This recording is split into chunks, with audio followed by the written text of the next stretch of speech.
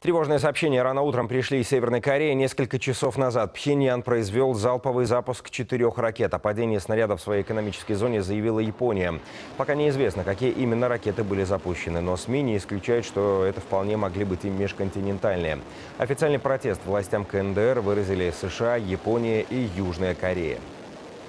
С территории КНДР зафиксирован запуск четырех ракет, три из которых упали в исключительно экономической зоне Японии. Запуски баллистических ракет представляют собой явное свидетельство новой угрозы со стороны Северной Кореи. Мы уже выразили официальный протест властям КНДР. Отмечу, испытания уже не в первый раз демонстрируют силу со стороны КНДР. В прошлом году Северная Корея запустила более 20 ракет и провела два ядерных испытания.